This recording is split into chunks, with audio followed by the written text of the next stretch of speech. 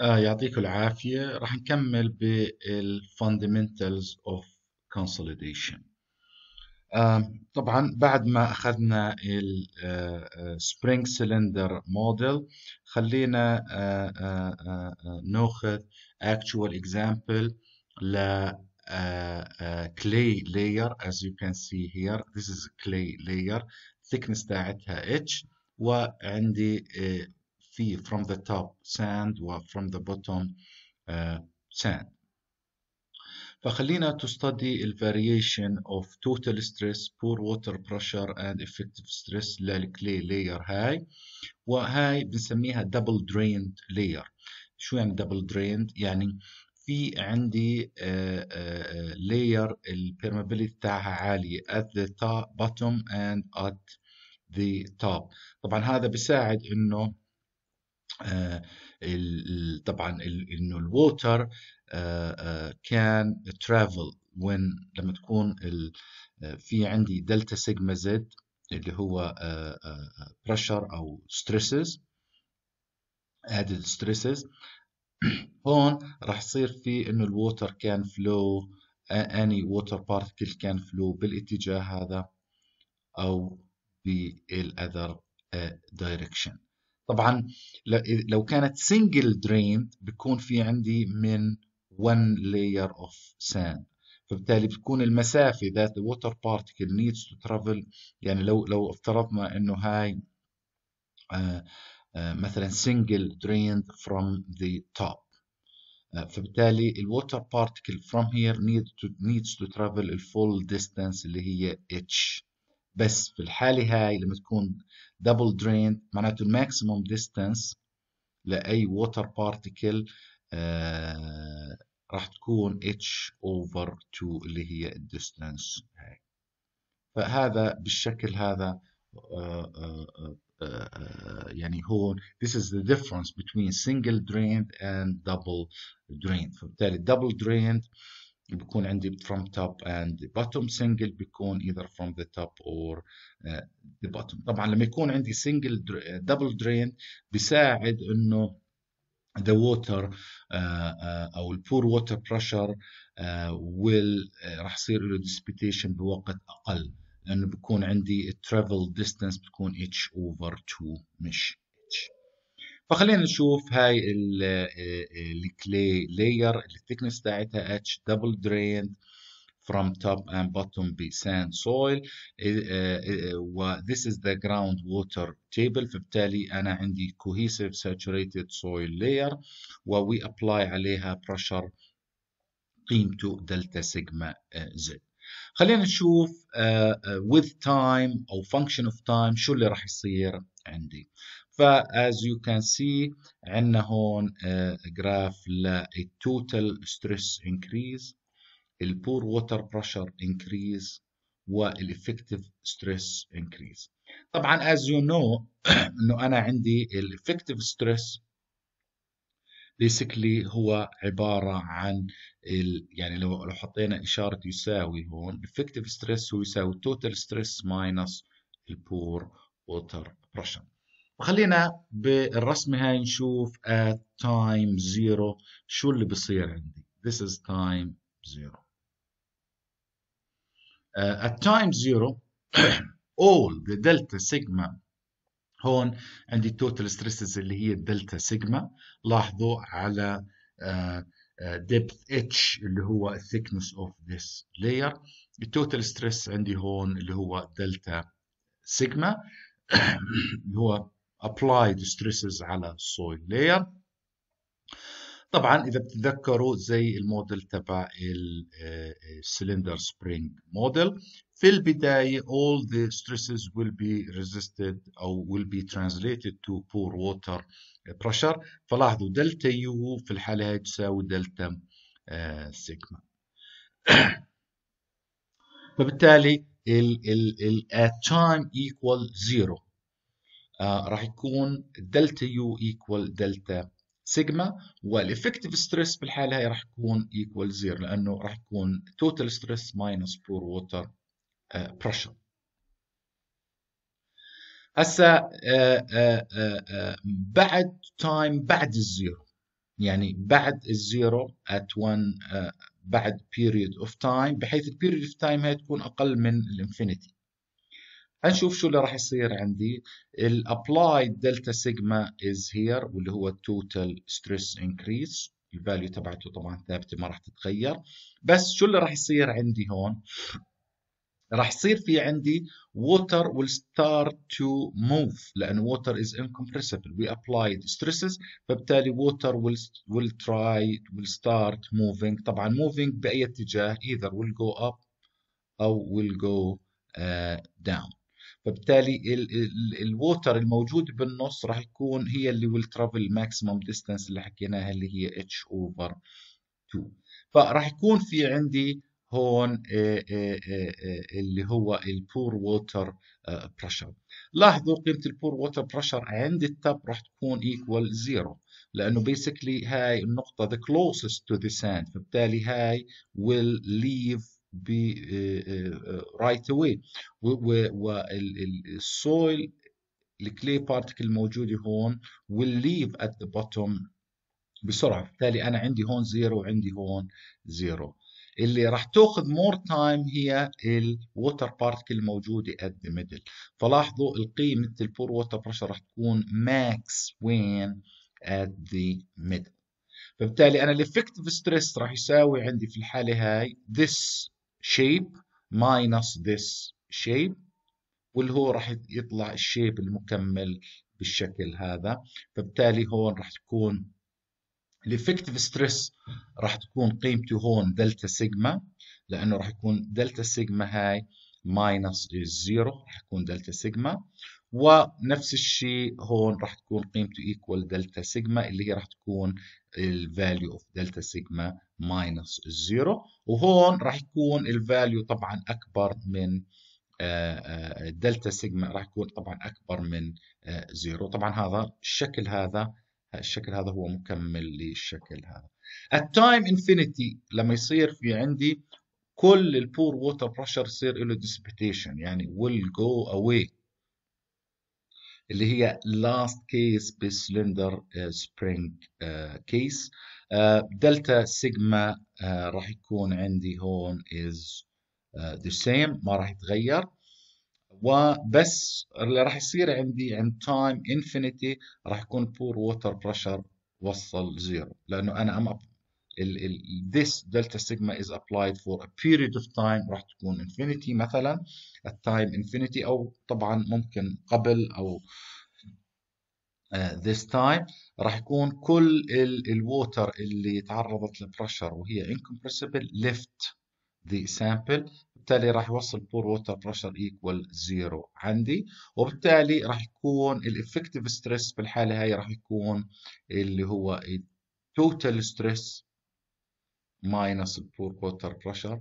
وراح يساوي عندي هون ال effective stress فبالتالي راح يصير عندي all the stresses آه طبعا zero pore water pressure راح تكون هي عندي ال effective فلاحظوا ال stages اللي مشينا فيهم ال time equal zero everything is راح يتحول ل pore water pressure with time راح يبلش يصير في عندي dissipation راح تقل ال pore water pressure وال time infinity راح ال pore water pressure هذا يصير قيمته zero وبالتالي هاي ال value راح تكون هي ال effective Uh, طبعا هذا كله is described here but already we discussed it. هذا بس to emphasize على ال concept اللي إحنا بنحكي uh, فيه. هسا شو هم ال lab tests اللي إحنا we perform them in the lab بال consolidation في عندنا اشي بسموه ال oedometer أو ال consolidometer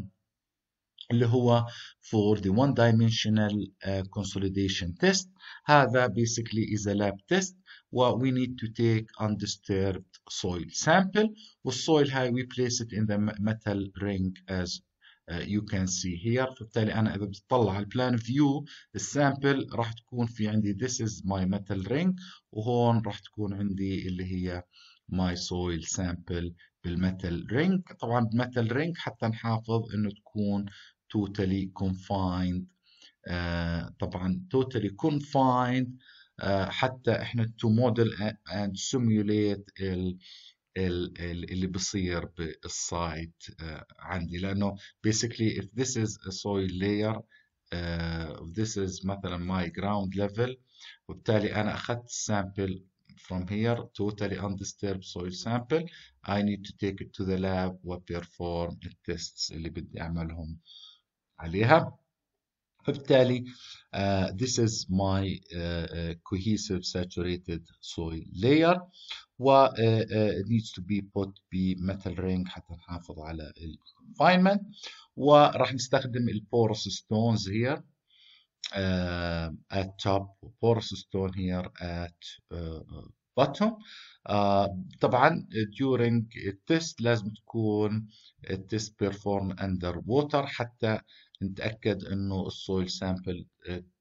to stay saturated throughout the test then we apply a load والload we apply it ب increments و usually التست we double اللود every 24 hours طبعا load هذا عندي will be translated to uh, stresses uh, if you divide the load by the uh, cross sectional area of the sample Uh,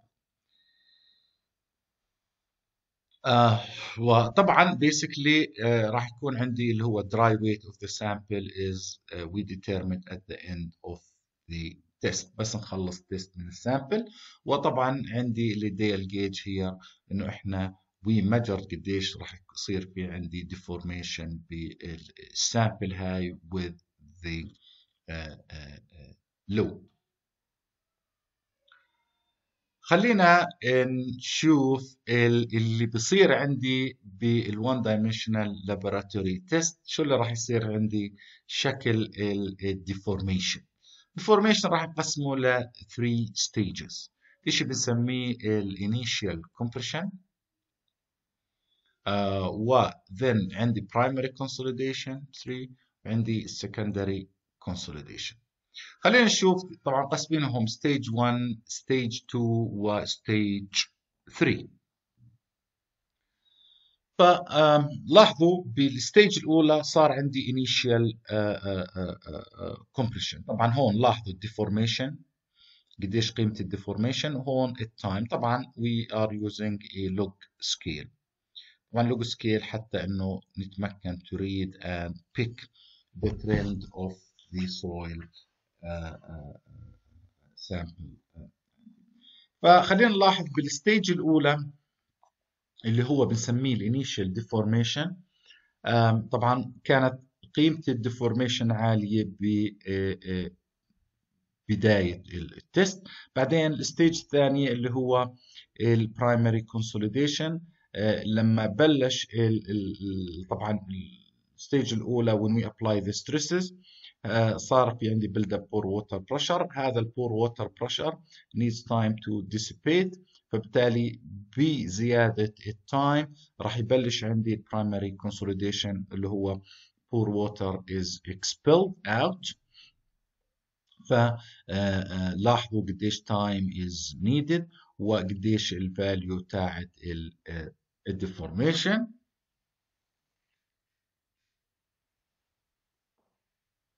طبعا uh, again stage 3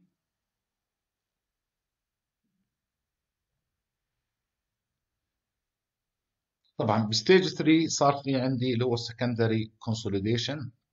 طبعا هو primary consolidation صار في عندي volume change due to expulsion of water particles from the soil secondary consolidation اللي راح يصير عندي بالsecondary consolidation راح يصير في عندي plastic adjustment of the soil Particles بالتالي plastic adjustment of the soil particles هذا راح يسبب عندي uh, uh, deformation بال soil uh, sample فهذول ال stages ال consolidation اللي basically ال sample هاي will go uh, through طبعا plastic readjustment اللي هو is very important بس كمية ال settlement بتكون فيه بصراحة قليلة. uh, uh, زد على ذلك إنه هاي needs more تمام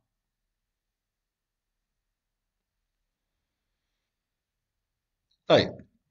خلينا ناخذ closer look على ال sample تاعتنا وشوف شو اللي صار عندي آه، آه، فيها.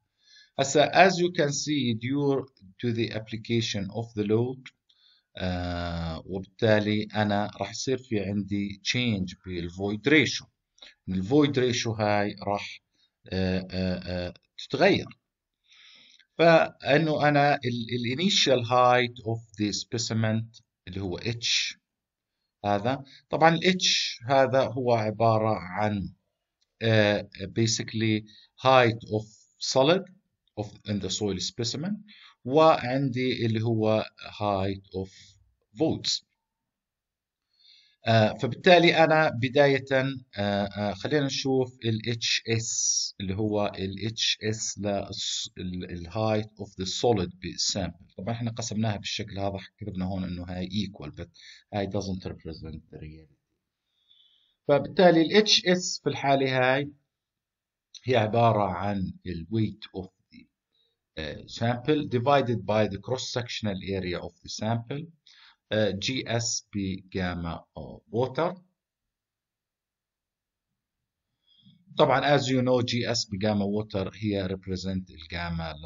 للسويل و اتش اس باي اي هي represent الفوليوم طبعا we can use the mass بس if you use the mass معناته we need to use rho للwater and you know the difference between gamma water and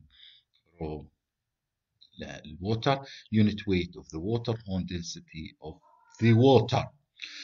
فبالتالي أنا عندي هون ال initial void ratio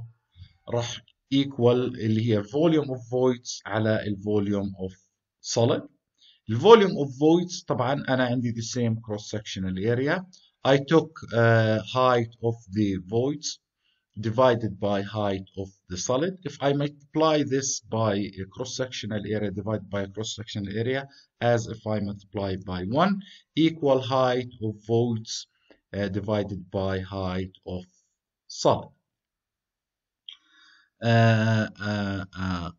فبالتالي أنا هون I need to calculate the uh, change in the void ratio. فبالتالي راح يكون عندي delta E1 اللي هو ال initial change بال void ratio for 1 اللي هو راح يكون يساوي delta H divided by HS طبعا delta H اللي هي هون هي تعبر عن ال change بال delta S اللي هو راح يكون تغير بال voids يعني إنه ال voids راح تقل عندي. ف E1 اللي هي عبارة عن initial void ratio before we performing any test على ال sample minus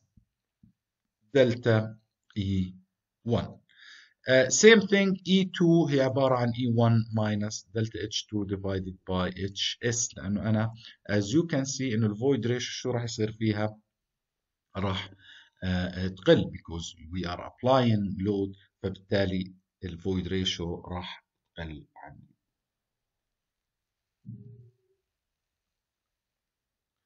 طيب خلينا نحكي عن ال normally consolidated and over consolidated clay هذا الترم is extremely important نميز بين شو يعني normally consolidated وشو يعني over consolidated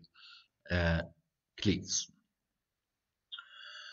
خلينا نقرأ التعريف وخلينا نشرح مع بعض أو نشرح شو الفرق بين الاثنين أول شيء عندي شيء بسميه normally consolidated هي عبارة عن soil the present effective overburden pressure is the max pressure that the soil was subjected to in the past فلاحظوا أنا بحكي عن effective overburden pressure اللي هو sigma note يعني أنا إذا عندي soil sample uh, soil layer بالشكل هذا as you can see وبالتالي أنا بدي check ال layer هاي هل ال layer هاي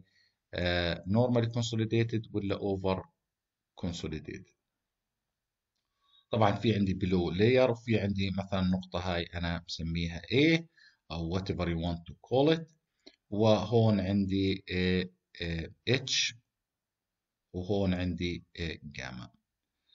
فال effective overburden pressure اللي هو عباره عن جاما في اتش طبعا in case of dry condition و normally consolidated يعني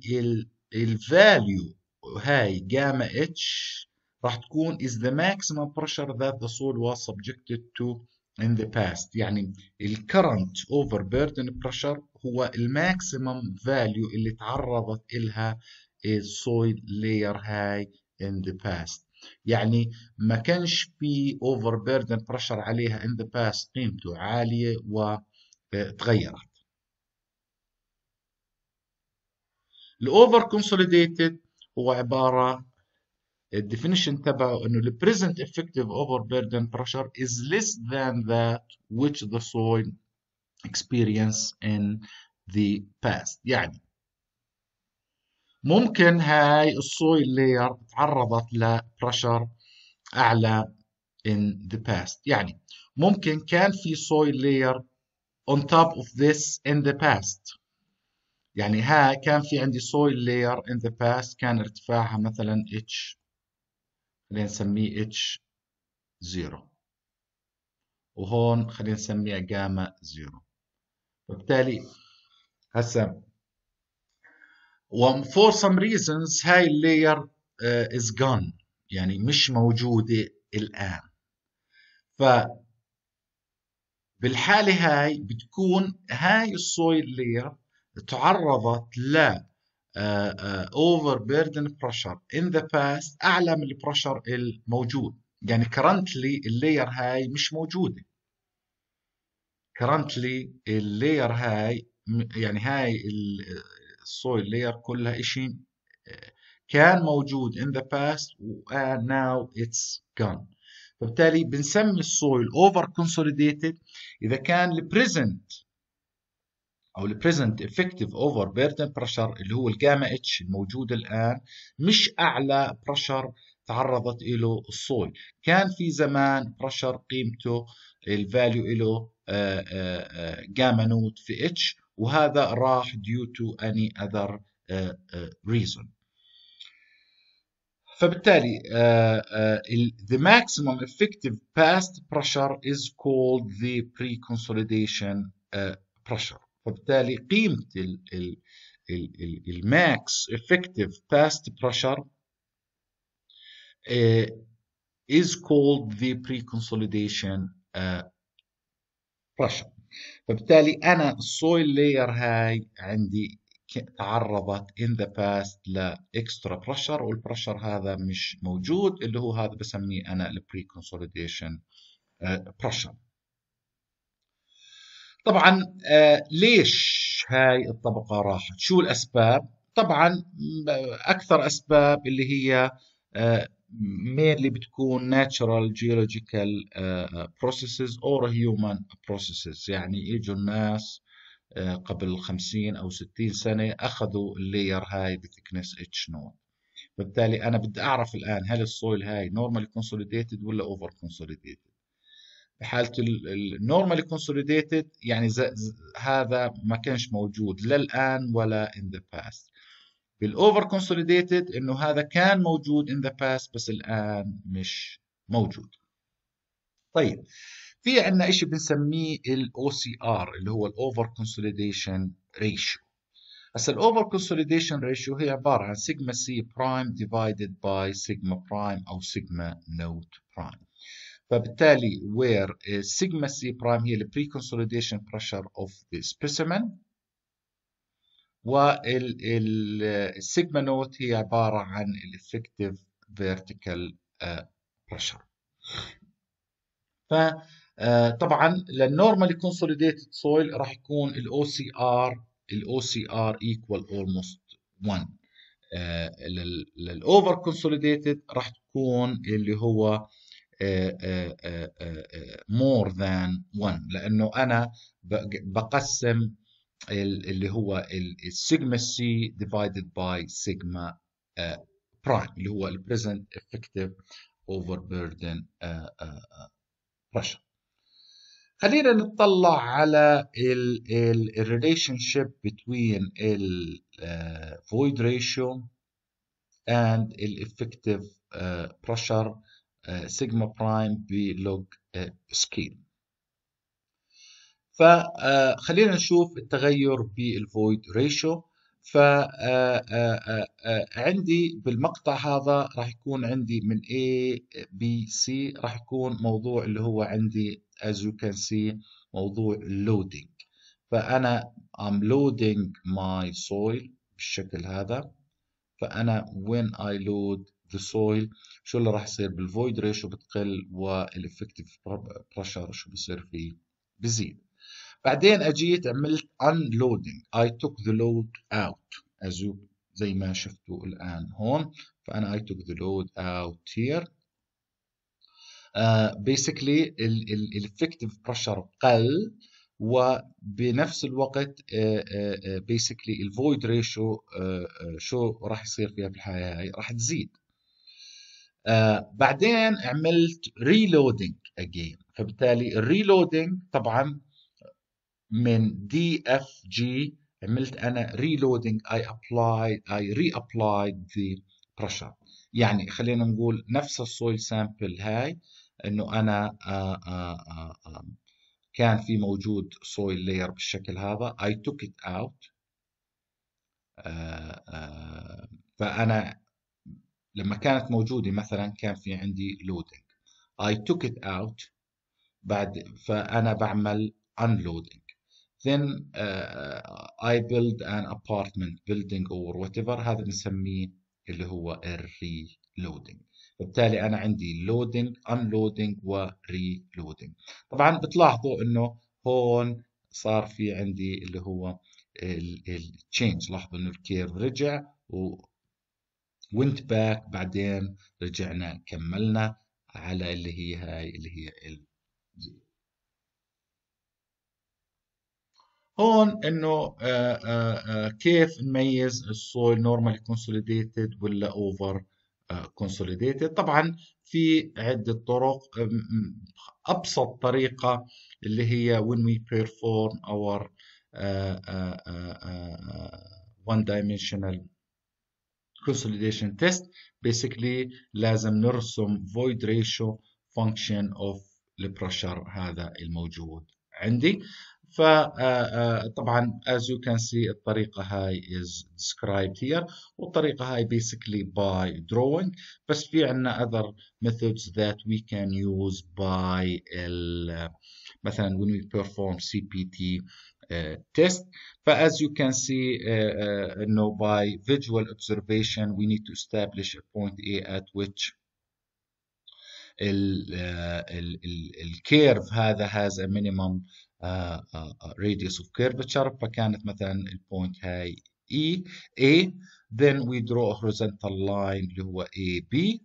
بعدين we draw line AC tangent to A لاحظوا هذا اللاين اللي هو AC اللي هو راح tangent للنقطة هاي اللي هي A بعدين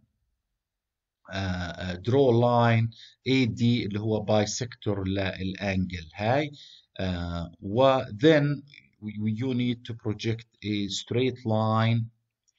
uh, لل portion اللي هو GH فهذا straight line بدك تكمل فيه ال straight line ونشوف وين قاطع ال straight line هذا مع ال bisector وبننزل نقطة هون فبالتالي بكون هذا اللي هو ال ال ال is the pre-consolidation uh, uh,